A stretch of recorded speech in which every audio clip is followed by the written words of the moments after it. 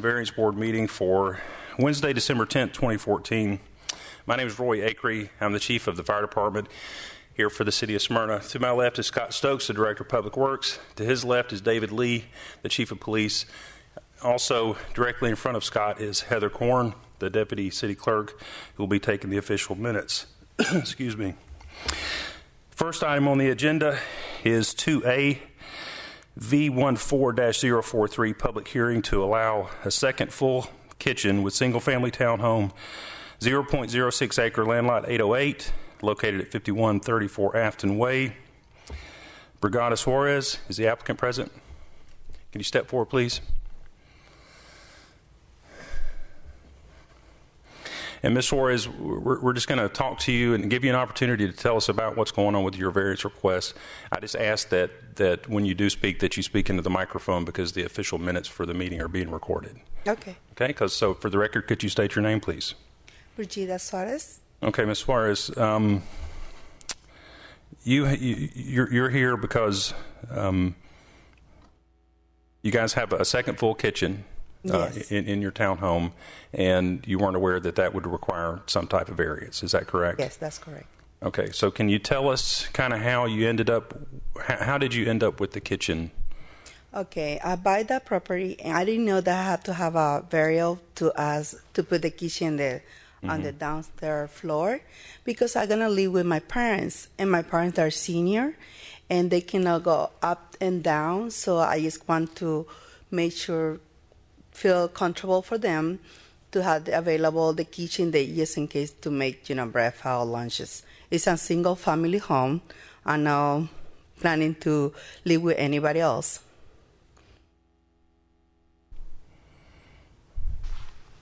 Okay. We have any questions for the applicant right now?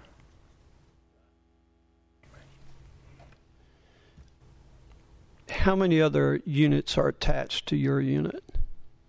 It's only on the down floor. It's only the kitchen. No, no, no, no, No. no. How many other townhouses?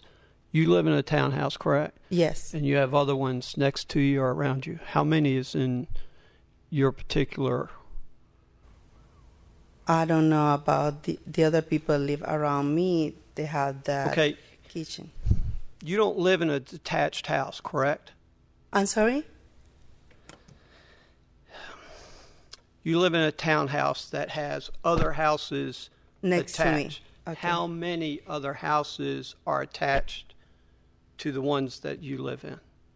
Um, we have like a one, two, one on the right side and one on the left side. Okay. So your your townhome is in the middle, and you have a townhome to your left and right, Yes, and and those three together make up one building. Is that correct? No, they're individual building. Okay.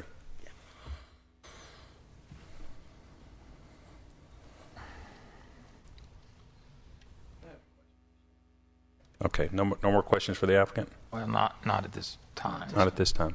Okay, thank you. If you would just have a seat right there, we may call you back up. But this time I'll call staff for some background. Uh, Joey Staubes, Planner One with Community Development. Um, I believe there are eight units in that townhome section. Um, to answer that question, Okay. and and she is the the property owner is not at the end on either side, so there are units attached to the right and left of, of the subject property. Um, applicant is requesting a variance to allow a second full kitchen in the basement at 5134 Afton Way. Um, I think we were, community development was made aware of this through a code enforcement um, issue. Uh, and then upon them, them discovering the, the kitchen, uh, they were informed that they would either need a variance or remove the the kitchen. Usually, what we constitute a kitchen is a stove. Um, a microwave, and a sink. Um, and based on my discussion with the building official, that that would not constitute a kitchen. But when a stove is involved, then it does become a kitchen. And, there, and there's a stove at this location. Correct. There's a electric stove, and um, based on the um, the applicant's information, at, at one point the previous owner had a jacuzzi tub um, with adequate power supply and plumbing that was then converted. That plumbing and electric was used to install this kitchen, which has cabinets, a stove, a microwave, dishwasher, sink, and a refrigerator. Um, it's subject property zoned RM12, um, which allows multifamily um, dwellings, single family, attached, uh, as well as like uh, duplexes. But the subject property was built as a single family home, townhome, uh, meaning one dwelling is one full kitchen. So they are requesting the variance due to their um, their parents with mobility issues that preclude them from using stairs. There is an access point from the driveway that's at ground level um, that they can use to enter the basement uh, without the need of stairs. And there's been no modification to the townhome that would make it a duplex. So, So just for clarification, when you mention that, that there have been no interior petition dividing walls built, anything like that? correct. Yeah. Um, And, and, okay, I have another question, but it may be for the applicant. Do we have any questions for staff? Joey, do you know the interior layout of the basement? I do not. I've I've not been inside. I just know that there is a kitchen. Um, I believe there is a bathroom and a bedroom and a mechanical room. That the mechanical room includes a, uh gas water heater, uh, and it is contained uh, and closed off from the rest of the basement. It is a finished basement. It it was finished before the owner, the current owner, took ownership of the property. Um, you want me to give the, our recommendation now, or you want? Sure, go ahead. So, previous uh, variances have been granted for second full kitchens. The ones that I'm aware of were all in single family detached homes. Um, I I am not aware of any that have been approved in a townhome. So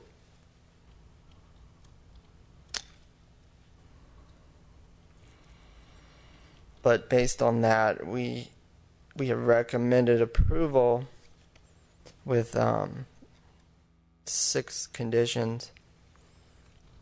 One, the finished basement is to be only utilized by family members. Two, the applicant shall not lease, rent, or sublet any space in their home. Three, the basement stove shall remain an electric appliance. Four, these conditions shall run in perpetuity with the property and as such are also applicable to any future owner. Five, upon sale, change of ownership, or refinance, the deed for the subject property shall be amended to restrict rental of the basement as a separate dwelling unit. And six, the applicant must provide third party verification from a licensed building inspector certifying that all aspects of the basement kitchen meet city requirements. Okay, thank you. Any more questions for staff?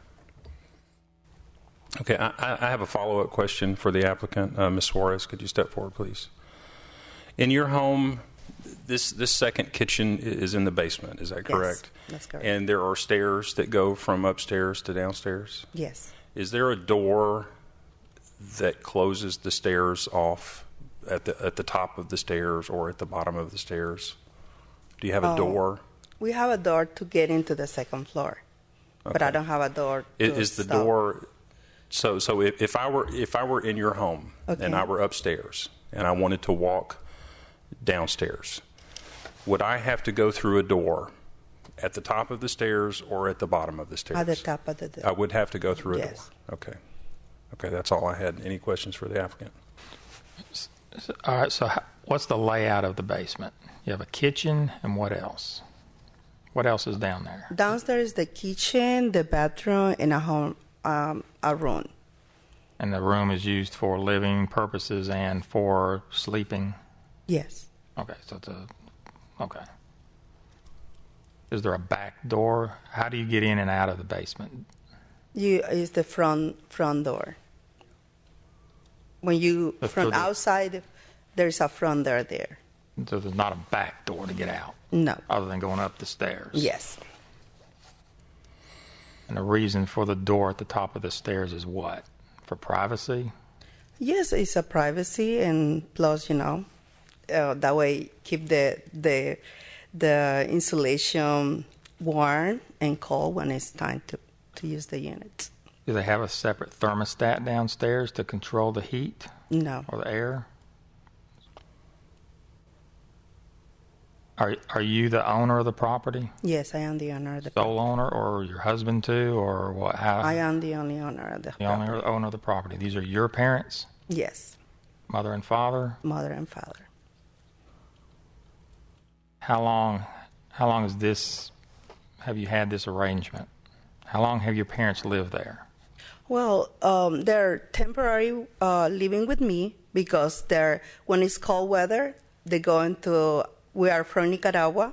They go into our country when it's the cold weather. Right now, they're with me, so it's like uh, six months they coming over here, and other six months they spending in Nicaragua. Okay. This was specifically designed to accommodate their My residency Yeah. on a temporary basis. Yes. Are you familiar with these stipulations that Joey, that was just up there, Yes, I on- he saw he he told me that I received an email from him that the what I need to be to make sure that there had to be electricity installed and and I agree with all the stimulation that he talked about.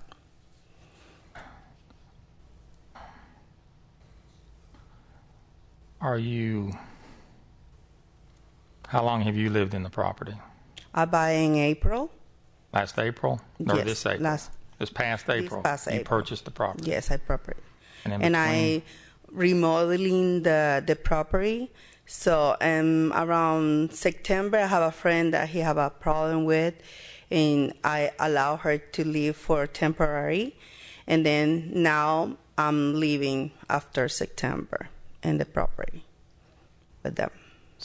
Say that again? Okay, I I buy in April, last April, so it take me like a two or three months to remodeling the home, painting, all the interior stuff. And then in September, I have a friend who had problems and allow her to live in the property. But I, she didn't pay anything to me. I just helping the person. And then after, at the end of September, she find her her place and I, after September, in the middle of September, I moved there because I work in a bank in Cumberland is close to me. The bank I work for Bank of America. Cumberland is close to me, so I actually moved there because I travel around Right. the state. So how, so when did your parents move in? My parents they came to um, they came from Nicaragua by July because my parents have a stroke. He her medical condition they will the care of him. So medical condition, So he came. So we treat him in Emory hospital there, so they came here to United States in July. Currently, how many people live in your your house? It's only me and my two parents. How many cars are there at the property? Right now, it's only one car because my parents doesn't drive. But I don't. In the future, if I decide to rent, I'm not gonna put more than three cars because only what the parking allow us. About two cars, right? Yeah. Yes. Anything? Any other questions? Uh,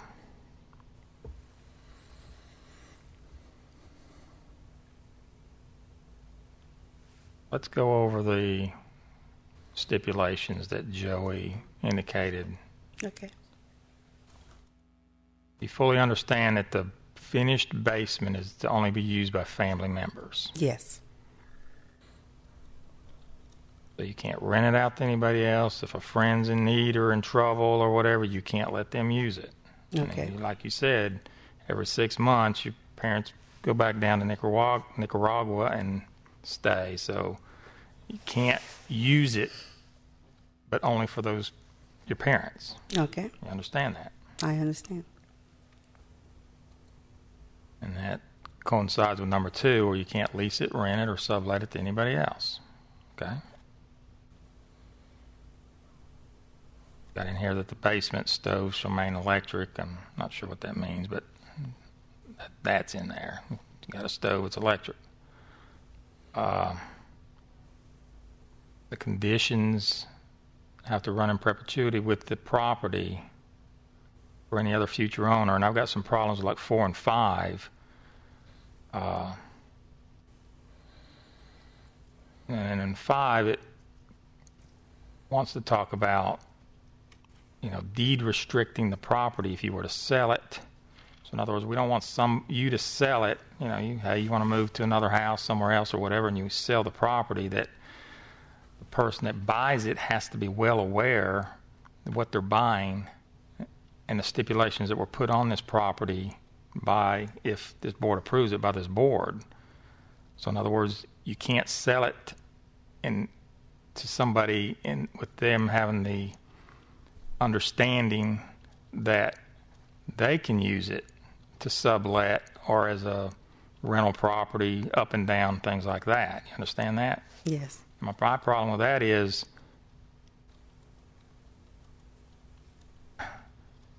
I think this I'm I'm probably going to go foot further with that to say upon sale that the kitchen basement kitchen will be totally removed.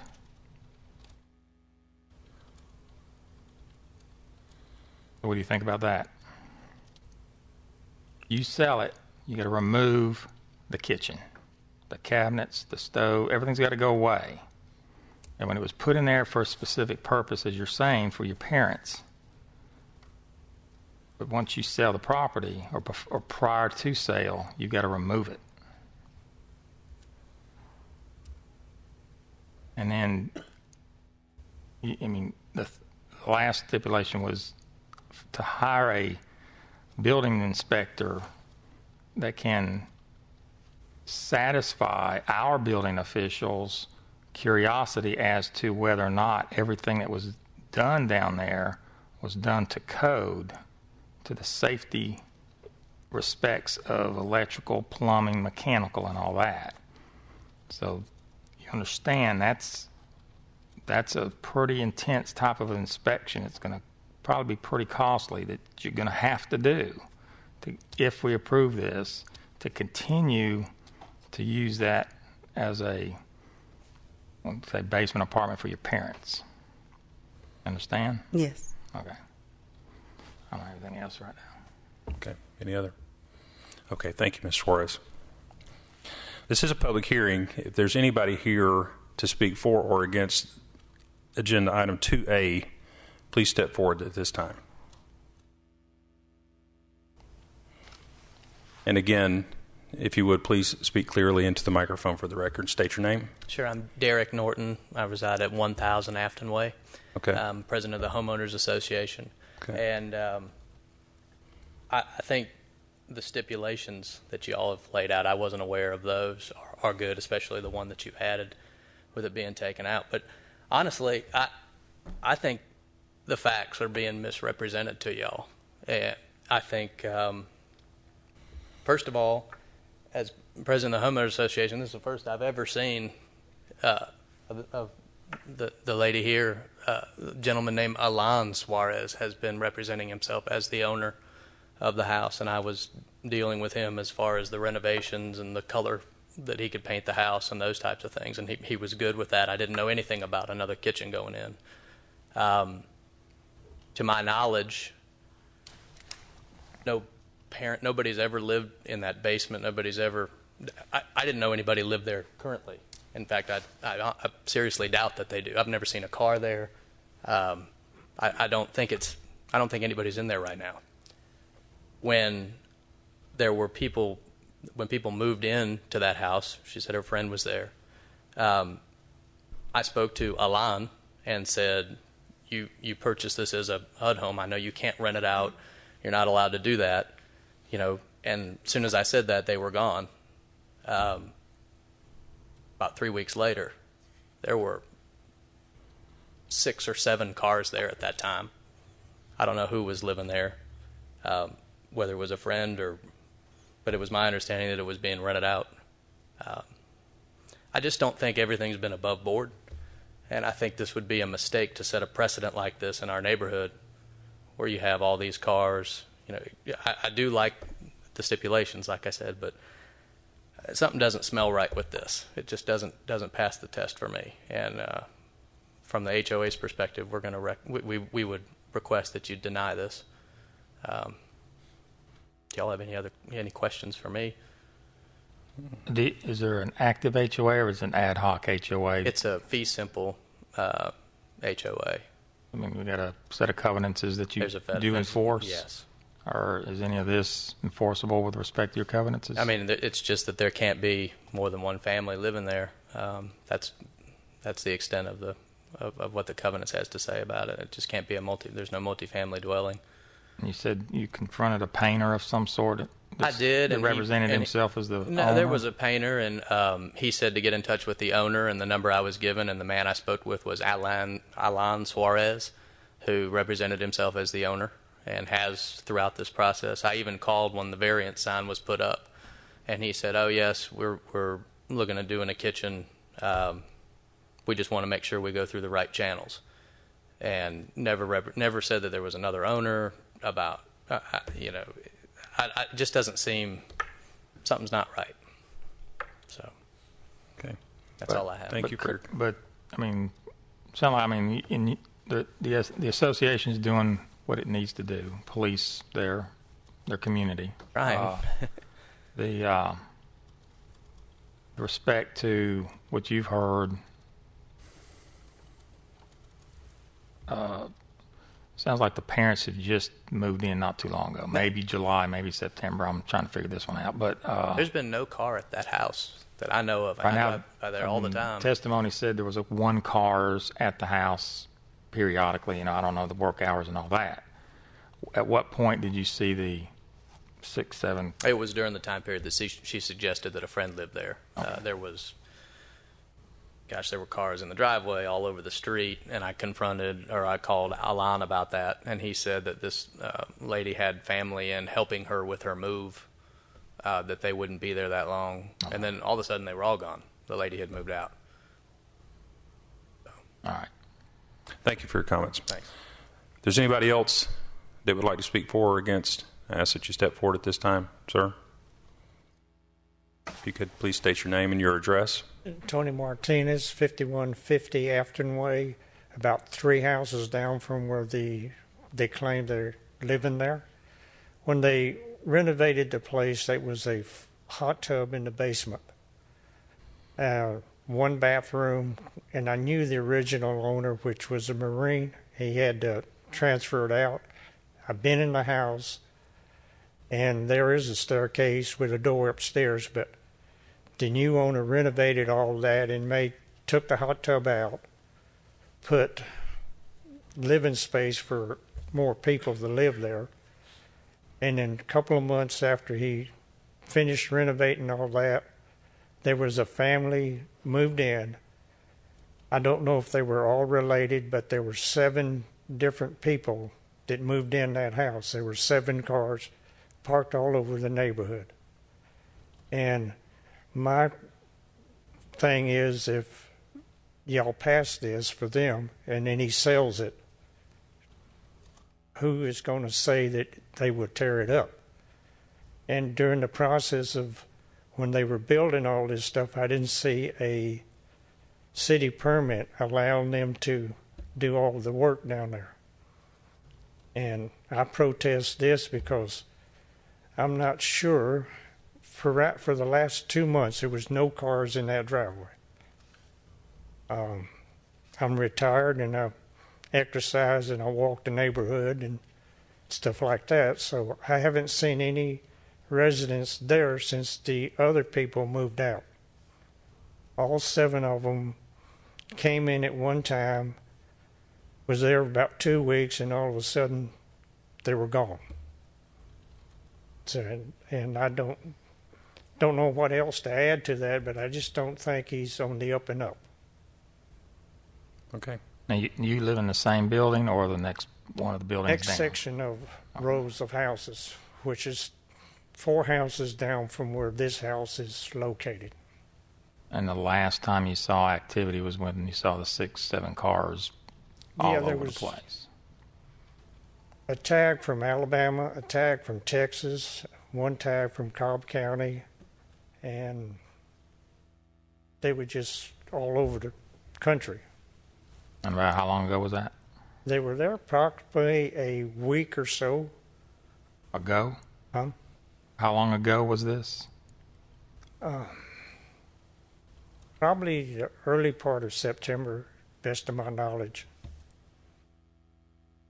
But as of right now, it appears that The, No the one house lives is at the vacant, home. right? It's vacant. Nobody's in there. There's no cars in the driveway.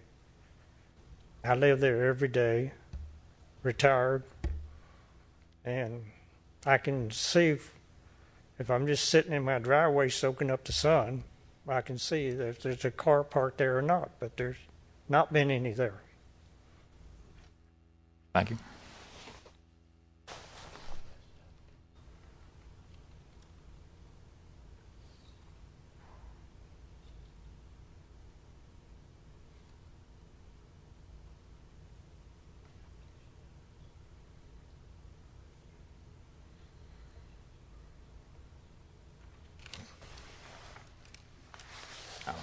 No, no questions for this gentleman? Okay. Thank you for your testimony, sir. Is there anybody else that would like to come speak on behalf of this? If you could please state your name and your address clearly. Thank you. Good morning. My name is Henry Valechko. I live at 5054 Afton Way, which is about 30 houses or so down the street from the uh, people requesting the variance. I just want to uh, add that everything, uh, Tony and I have coffee every Friday. I saw the same seven cars. I'm a daily runner. There hasn't been a person living in that house or a car in the driveway in months. I, and, uh, you know, it's something, it's a small community you can see what's going on. And uh, the seven cars saw that, saw the mess uh, that that created. Wasn't sure how long those people were were residents there, but I do know that once the HUD, you know, this was a HUD home, should have been occupied by the owners. Once that issue was stated, suddenly they were gone the next day. So that's it. Just wanted to back up what my uh, associate said. Okay. Thank you. Yep. Do you have questions? Ms. Suarez, could you please step forward? Just a couple more questions. Yes. Do Do you actually live there? Yes, I live there. Do you have a Georgia driver's license? Yes, I have it here. Can I see it, please?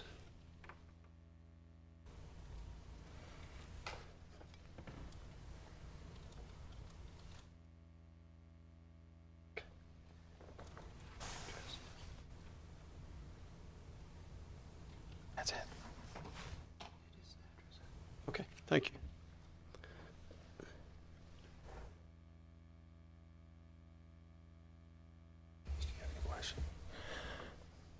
Go ahead. The the gentleman that they'd mentioned, that Mr. Suarez, who was that gentleman? My husband? Okay.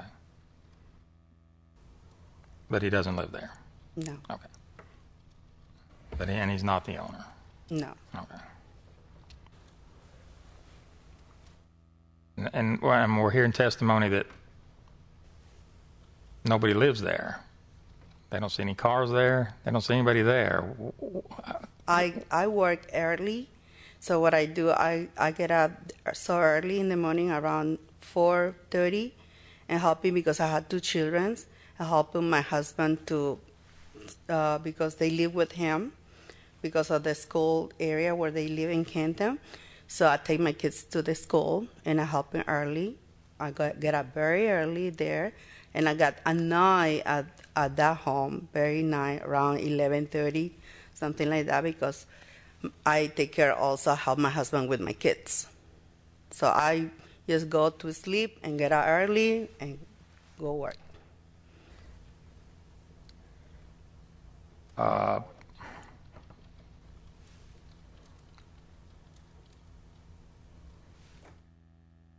make a motion. We go into executive session. I second that motion. Motion to convene into executive session is properly seconded. All those in favor? Motion passes 3 0. We'll be right back.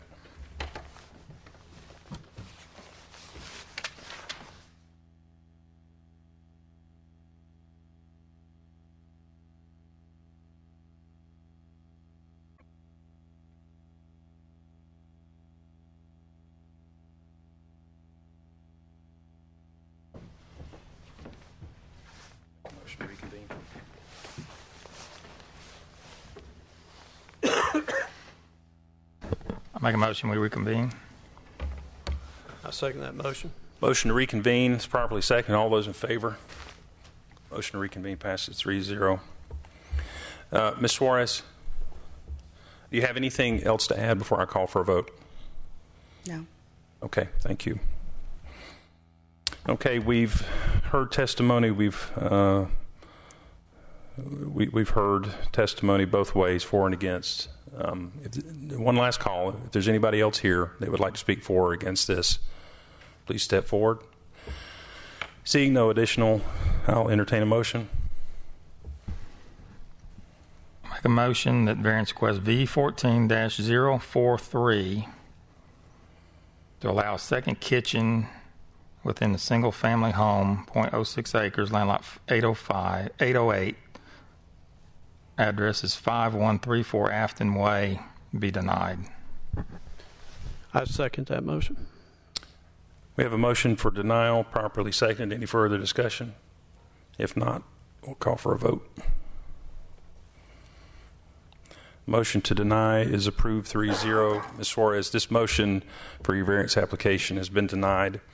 You do have one final appeal process uh, that would be to the mayor and council. You have 10 business days to submit your request in writing to the city clerk's office. Um, if you'd like information on that, we have the deputy city clerk here today. Once we're finished with this, if you'd like, you can submit your uh, appeal. If that's what you intend to do, you could you could even do that today. Okay. Okay? Thank you. Thank you. Next item on the agenda is 2B 2014 416 appeal of the denial of application for a taxi permit for Wilmer F. Caballero Lazo. Is the applicant present? I ask that you step forward, please. Also, for the record, at the podium is the city attorney, Jeffrey Tucker. Mr. Tucker. Thank you, Chief. Uh, if I can get Marla Gerber from the police department to step up as well, um, we'll we'll swear in both the applicant and Ms. Gerber. Oh, okay. Uh, sorry about that. And uh, Mr. Caballero, w- w- when you speak to the board, if you can speak right into this microphone, that's uh, that's good because we're recording this, so we need a nice, clear record. Um, would both of you raise your right hand, please? Do you solemnly swear the testimony you give in this matter will be the truth, the whole truth, and nothing but the truth? So help you God? I do.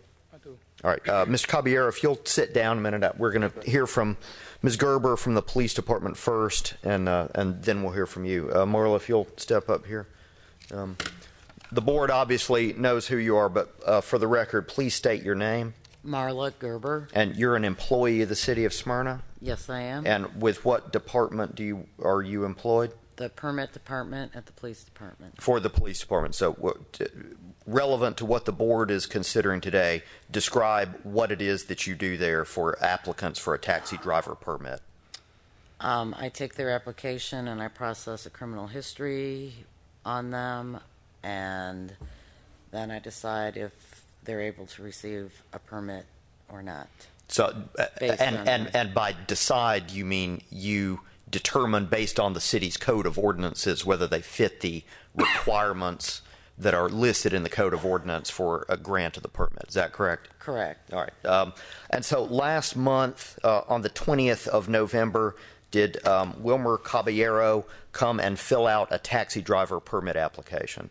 Yes, he did. All right, and you ran the standard. He, as part of that application, he signed a form where he listed any um, um, convictions or arrests for criminal offenses he'd had within the last five years, and gave you permission to run his criminal background check through the official criminal record system. Is that correct? Yes, he did. All right, and so th- and this is something that you're familiar with doing, and these are records that are kept in the regular course of business at the police department. Is that correct? Yes, it is. All right, and so when you ran that for Mr. Caballero, what um, did did the record show any um, any criminal offenses within the last five years? Yes, it showed um, two separate arrests. When was uh, when was the first of them as appeared on the criminal background record? November 16th of 2013 in Cobb County. And what was what was charged at that time? The charges? Yes. Okay. Um, there was a possession of cocaine with intent to distribute and possession of marijuana, which was also a felony. So both of those offenses charged in November of 2013 were felony charges. Correct. Both of them had to do with possession of narcotics in a in an amount sufficient to trigger a felony charge. Is that correct? Correct. And then did the record uh, did the record as you uh, as you viewed it show any disposition of those charges? No, there was no dispositions listed. There's no disposition. Uh, did the record show any other um, uh, arrests or convictions within the past five years? Yes, it also showed another arrest in Cobb County on March 20th of 2014 for trafficking um, and um, obstruction of a law enforcement officer. And what what was the uh, what was the grade of those charges? Were they misdemeanors or felonies? They were both felonies. So they're they're as the record as you ran it with the applicant's permission showed four pending felony charges here in Cobb County. Is that correct? Correct. Um, on the applicant's record, did he disclose uh, on the application he signed under oath? Did he disclose all four of those charges? No, the only um, arrests listed were the ones for November 16 of 2013. And so his his voluntary disclosure did not show the March 20th uh, arrest on trafficking and obstruction charges. Is that correct? Correct. All right. I don't have any more questions for Ms. Gerber. Any questions from the board for Ms. Gerber? Okay, thank you. All right, uh, Mr. Caballero, if you'll step up here, please. Um, because here at the board we like to give everyone a chance to respond, is there anything in what Ms. Gerber said that is either incorrect or that you would like to supplement or correct?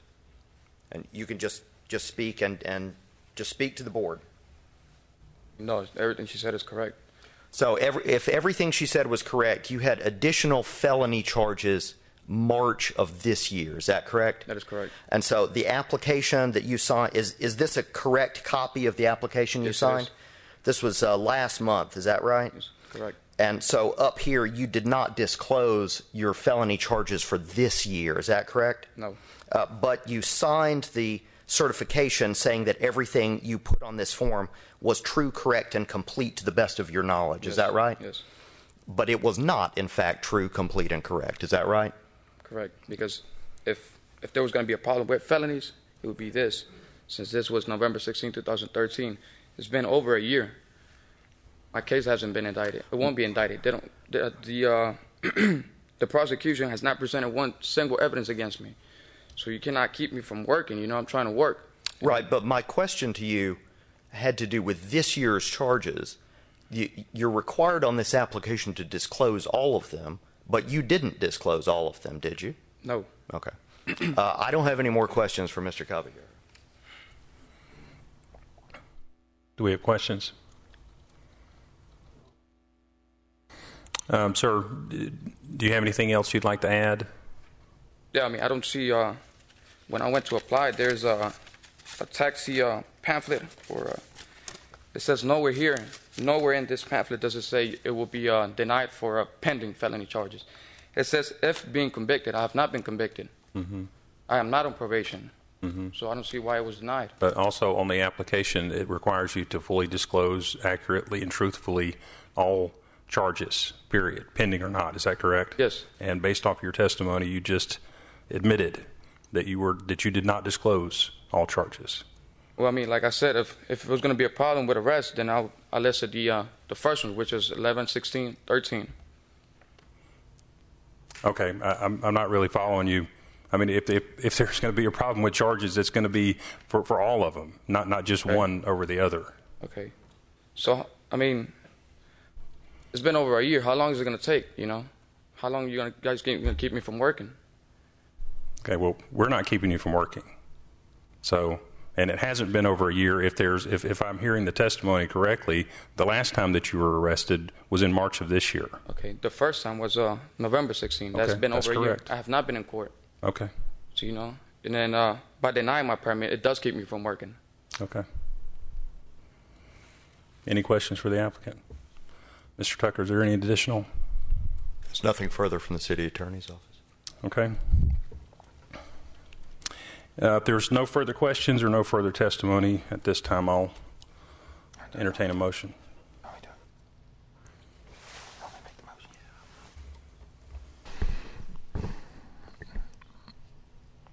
I'd like to make a motion to deny the appeal of the of the application for taxi permit for William or Wilmer F. Caballero Lazo 2014-416 business order uh, do uh, to just deny, deny the permit. Thanks. I second that motion. We have a motion that's properly seconded, motion for denial. Is any further? If there's no further comments, I'll call for a vote. Motion to deny passes 3-0. Sir, your appli- your, your appeal has been denied. Uh, You have one further um, appeal process uh, that's a right to you, and that's to the mayor and council. You have 10 business days to submit your request for appeal, so should you choose to continue to do that, and that has to go directly to the city um, clerk's office. Okay? It was uh, denied based on what? Based off of the testimony given. Okay, next item on the agenda is 3A 2014-412, approval of the license of variance board meeting minutes for November 12, 2014. I make a motion to approve those minutes. Second. Motion to approve the minutes from November 12, 2014, properly seconded. All those call for a vote. Motion passes 3-0. This time I'll adjourn this meeting.